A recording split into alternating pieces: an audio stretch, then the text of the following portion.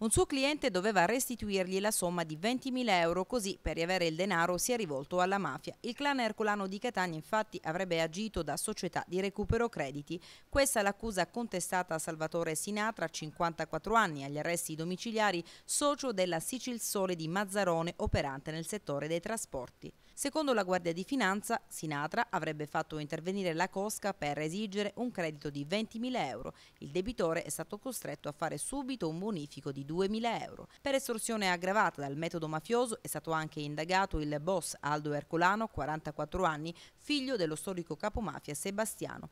Aldo Ercolano si trova in carcere dal 14 giugno del 2016 perché coinvolto nell'ambito dell'operazione Brotherhood che ha portato alla luce i rapporti illeciti esistenti nel capoluogo etneo tra esponenti della massoneria, imprenditoria catanese ed appartenenti alla criminalità organizzata. E durante una perquisizione in casa del boss furono ritrovati dei pizzini con annotati importi e nominativi di persone e aziende, ma anche fotocopie di documentazione che si riferiva a pratiche di recupero crediti affidate ad Aldo Ercolano.